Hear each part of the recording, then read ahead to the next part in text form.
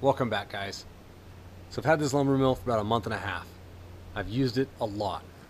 You see all this scrap piled up behind me. Anywhere from milling some planks for the decking, milling the board and batten for the pump house. It seems like I'm looking for a reason to mill out some lumber. Stick around for a minute, I'll tell you the things I like about it and the things I don't like about it.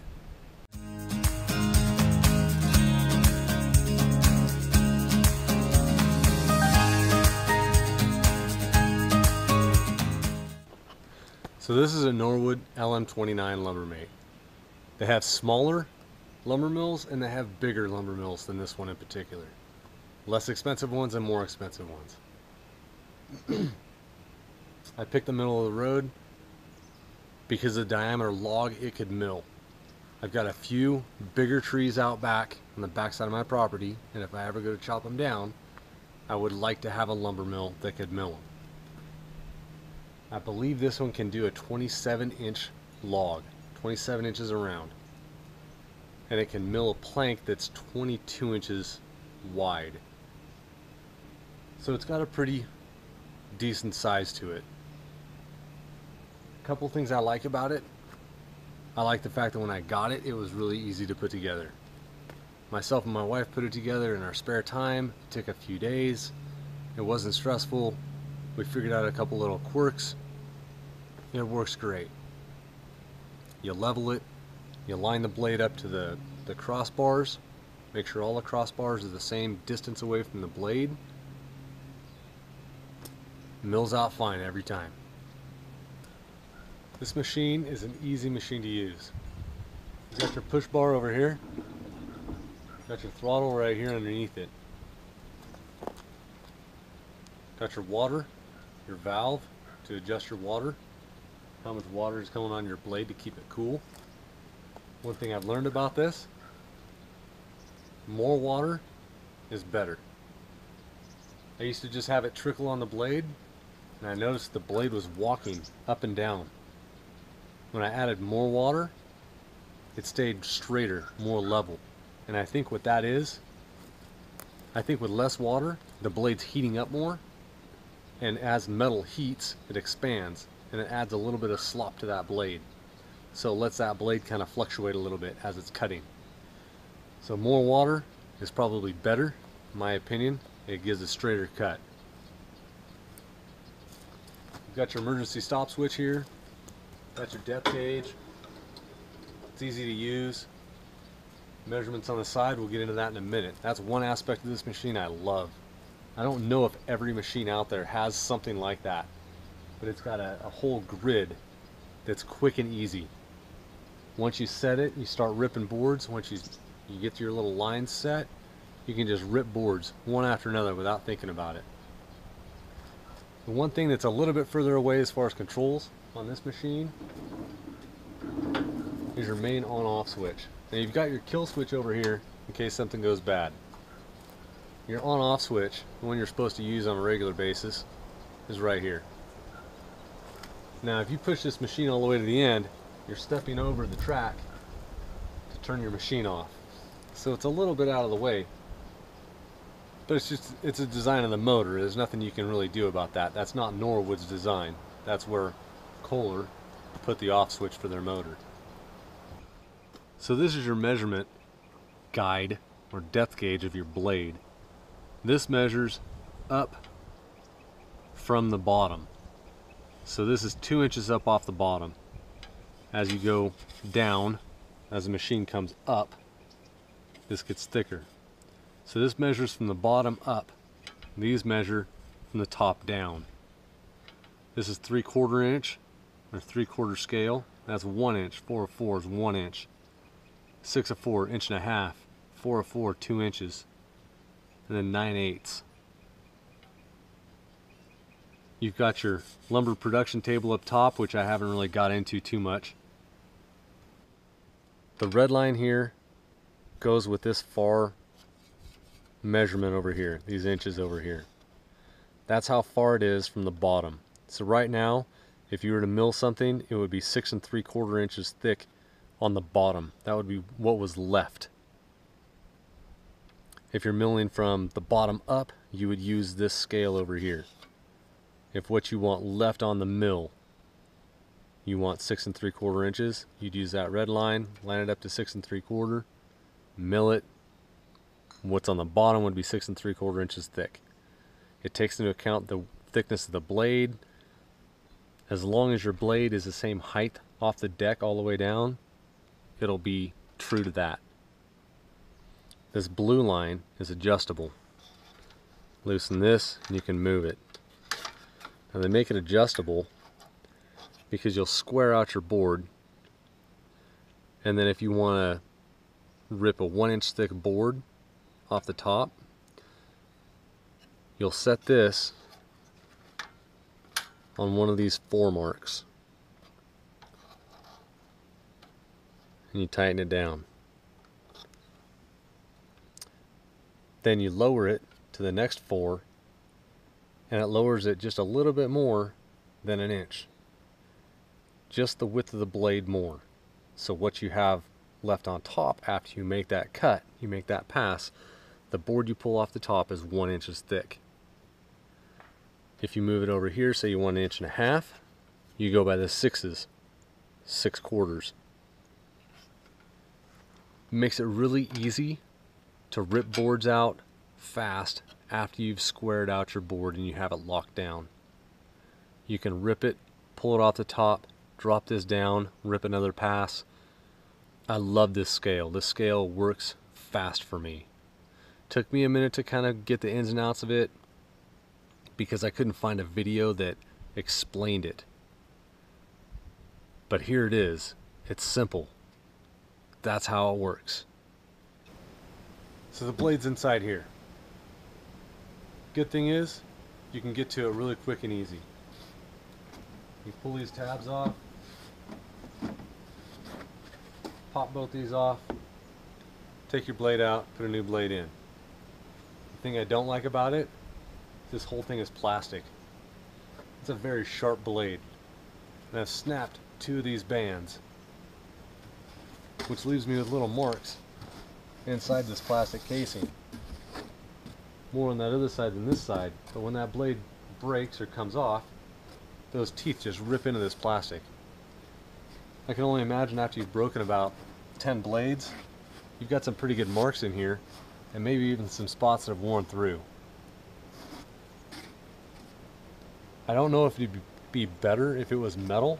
If it was metal and the blade came off, you wouldn't be able to put the blade back on because the blade would rub against the metal and it would dull it and it'd be worthless. So it's kind of a toss-up. Do you want a plastic one to save your blade? Or do you want a metal one in case your blade breaks, it doesn't come through the plastic? So the machine has two of these log stops. Nice stout piece of bar. It's got a quick release down here. Takes about a half turn. You can adjust it, the height on it.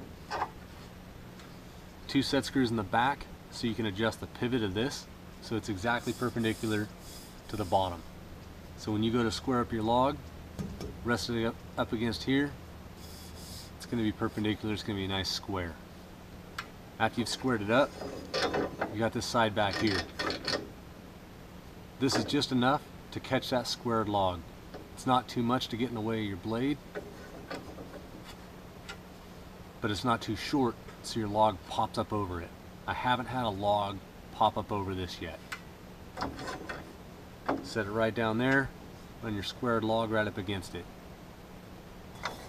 So this is your main dogging system.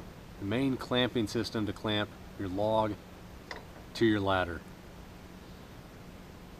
I'm not super happy with it. It seems to work pretty good when you first roll a log up and you've got a big, something big and substantial to work with. It seems to bite into it and work with the, the friction that it's supposed to work with but you start getting down to the smaller stuff, it doesn't want to work with it. It doesn't want to stay tight. I've had it get loose and just fall straight down mid-cut. It hasn't affected any of my cuts yet, having it fall out, but I'm also not pushing super hard. I'm not trying to force the machine so it's not pushing the log. I just let the machine ease through the log. So maybe that's why when this thing is falling out, it hasn't affected a cut. It's not a Not a good thing though to have your, your locking mechanism fall out. Now this is another dogging system that they use. This is another dogging system that's used for the smaller stuff. It's a good idea, the theory behind it. It bites in real good. But there again, I've had it come loose and fall out. And that leaves your log, especially small stuff, loose on the top here. And the smaller it is, the less weight it has to hold it in place, the more it's going to move. This is Norwood's log loading system. I paid extra for it. I wouldn't send it back. The bigger logs, the logs I can't just pick one end up at a time or ones I don't feel like loading up on the forks of my backhoe and trying to roll off real gentle onto this thing. This thing works like a champ. It's got plenty of cable, two ramps, cable goes out, goes around the log, comes back, locks into the bench. Two different speeds at which you can crank a log up on here. The log's just big enough you can't pick it up. Use the bottom one. It reels it in real quick. This top one over here is for the bigger logs. The logs that are really heavy, you don't want to strain your arm, put it over here. It takes a little bit longer to crank them in, but it's still really, really easy. I like this addition to the machine. This little hook comes with it. It's for wrapping around the log so you can roll it on the machine. So when you've got a big log you can't just roll. Hook this on and roll it. Now this slides in further in on the machine so that when you're using it, it doesn't have this long arm that it's flexing.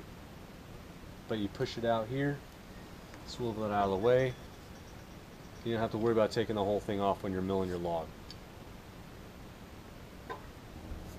So your water tank sits up high, gravity fed. It's out of the way, it's low profile, holds a good amount of water. I can mill out a whole log with the water pouring out pretty good and I won't run out of water. The one thing I do wish that they had added on here, they've got a chain to keep this from falling out, but they have no filter. No little removable filter to catch little debris that might be in your bucket as you're pouring it in here. I mean, if you're buying gallon jugs of water to pour in here, you're spending a lot of money. The majority of people I'm thinking are going to fill a five gallon bucket and pour it in the top. That's what I do. But now I've got some sediment in the bottom of my bucket here, bottom of my jug. And over time, that's going to plug this system. So a little filter up on top to filter your water you're pouring in might be something you'd want to look into get. I know I'm looking into getting something, maybe a funnel with a paper filter. I'll figure something out because I can't keep dumping water in here and having debris in the bottom. It's not going to work out long term. So down to your track system. I can't find any flaws in the track system of this machine. It's really sturdy. It's really smooth. Even at your joints right here. There's a joint right here. It's nice and smooth. I haven't filed any of these down. And they say you can. If you find a, a little bump as you're rolling it back and forth, it hits these and has a little bump. They say you can take a file to it and just knock it down real quick. I haven't had to do any of that. So I don't know if all bandsaws have this stabilizer wheel that slides in and out for the width of the log you're milling. But it seems to work pretty good. Move it in when you're cutting something thin and it keeps that, that blade right there nice and steady. Move it out, out of the way when you're doing your first cuts on your log to square it up. It's out of the way, you don't have to worry about it. So as you can see, it gets almost all the way out of the way, which lets you mill something fairly large. That's where it gets the 27 inch log. The Norwood Company is based in Canada super helpful people. Had any questions? Like anytime I called them. Before I ordered the machine, I must have called them three times with questions. Always got answers. Realistic answers. Not just a, a fake, yeah, yeah, it'll do that, no problem. I got realistic answers. I got specs on the different machines. I got prices on the different machines. additions, what I could put on each machine as an addition later. As far as I know, all their additional equipment can go on this machine and the next machine up. I don't know about their smaller machine, but I know this machine, you don't have to order it with everything all at once. You want the log loading system a year or two later, you can order it bolt it on. There's a couple other additional pieces of equipment you can order this for this machine and you don't have to order it right away. You can kind of grow with the machine. The questions I had, realistic answers, I can't say anything bad about the company. They've always had super friendly people on the phone. They can always answer the questions. It's just a good company to work with. The machine itself, I wouldn't trade it in. Even the little things that that not having the filter on the water bottle. It's minor. Super minor. The plastic fan shroud or the plastic blade shroud. It's a minor inconvenience. Like I said, if you had a metal one and your blade just came off, your blade would be ruined. But when your blade breaks and it makes big gouges on the inside of your plastic, the blade's already trashed. Now it's trashing the plastic. So it's kind of a toss up. What do you want to do? I think I'll stick with the plastic. I know the plastic pieces you can buy. I don't know how expensive they are, but I know you can buy them. So after I break uh, 10 or 20 blades and I get a hole in it, maybe I'll buy another one. I love this machine though. It does a great job at milling lumber. Once you get used to your measurement gauge on the side, you can mill it quick. So if you're looking for a sawmill, look at one of these. Look at the LM29 made by Norwood. I love this machine. I use it as much as I can. It's been a while since I've done a tool review, but I felt I needed to do one on this machine. You guys will see it a lot on this homestead. I'll be milling out a lot of lumber. So I figured I'd let you guys know what I'm using. If you like this video, you like this channel, hit that subscribe button. Hit the little bell for notifications. Smash that like button for me. Help this video get out there. Help our channel get out there and get seen. Leave a comment, even if it's just to say hello. Until next time, guys, go make something.